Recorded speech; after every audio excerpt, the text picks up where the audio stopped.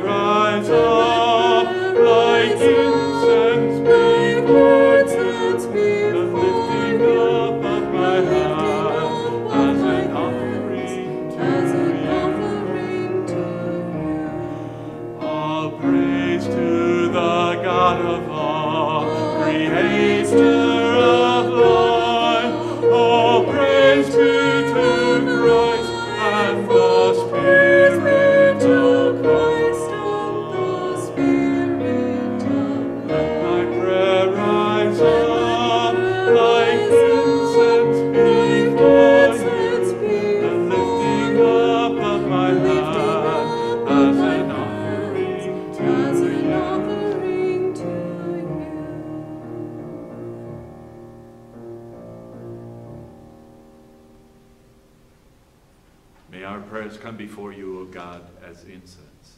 And may your presence surround and fill us, so that in union with all creation, we might sing your praise and your love in our lives. Amen.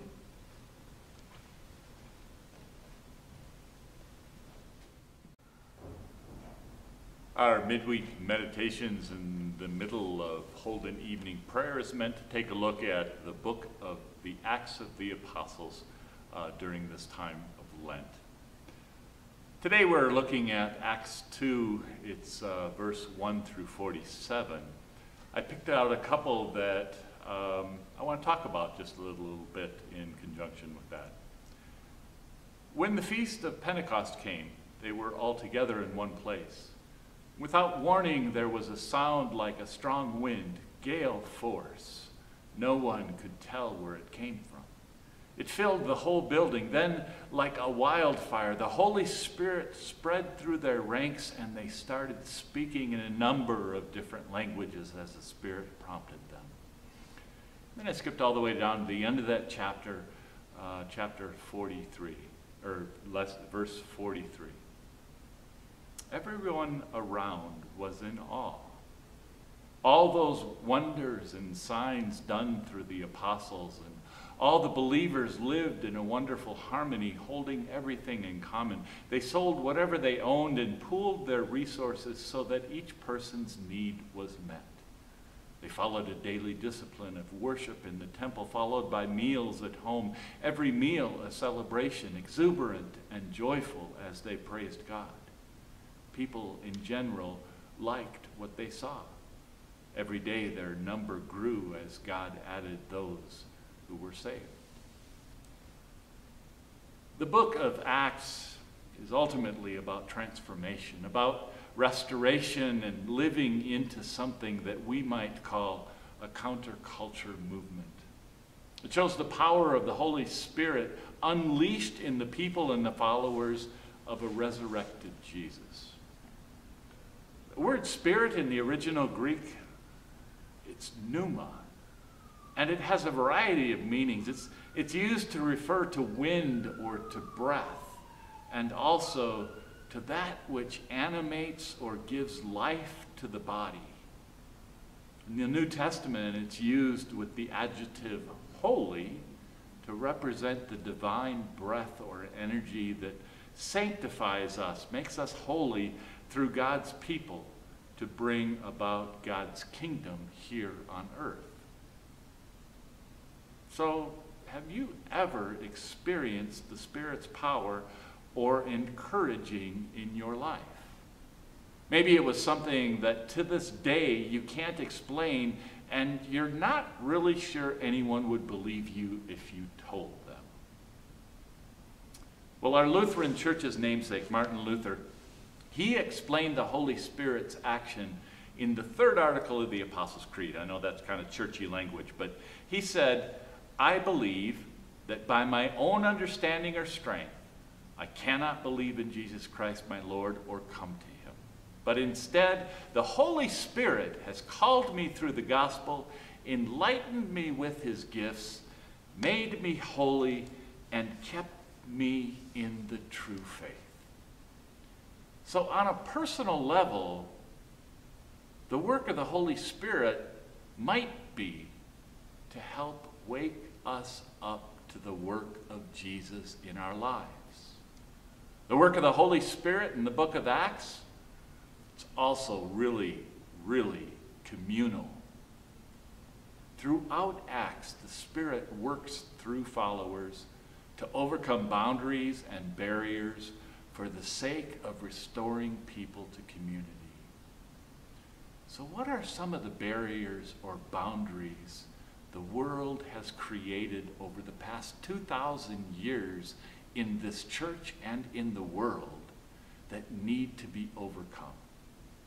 How might the Holy Spirit be working through you to help be a part of breaking down or at least taking a stone or a pebble out of the wall for the, stake, for the sake of restoring people, all God's people, to community. I want to encourage you to read chapter 2 of the book of Acts. And remember, there's going to be a group who will be gathering every Wednesday at 6.15 Mountain Time on Zoom to have more full wonderings and wandering around this part of God's story, which is also our story. Along the way, think about what church becoming might mean in this year 2022. Blessings and hope on your Lenten journey. Thank you. The light shines in the darkness. And the darkness did not overcome it. An angel went from God to a tower.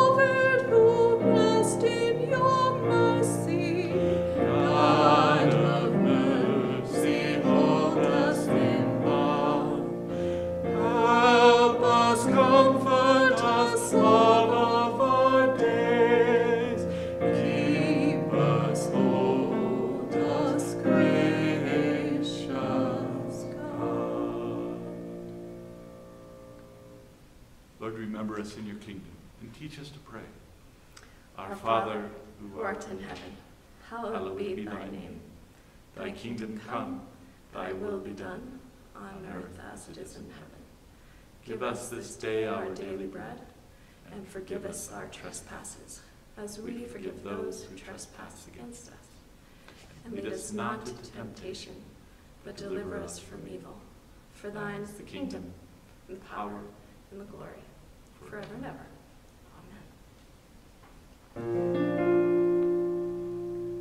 Let us bless our God.